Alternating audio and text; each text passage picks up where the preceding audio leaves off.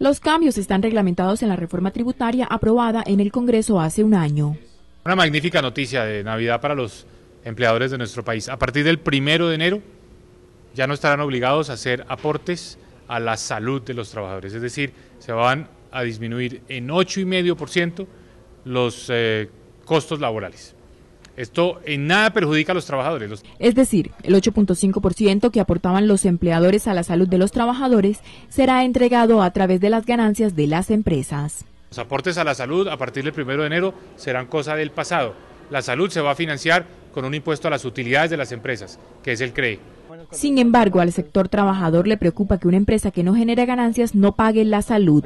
Lo que quiere decir que si una empresa no da utilidades, no va a pagar eh, ese impuesto. El sector sindical agrega que algunas empresas le pedirán a sus contadores declarar menos utilidades para pagar pocos impuestos, pero el gobierno nacional insiste en que con esas medidas en el país se han generado más puestos de trabajo.